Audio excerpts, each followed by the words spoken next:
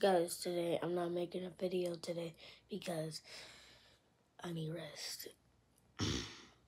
I can't make it today, but I'll make it tomorrow. Fortnite video. And bye.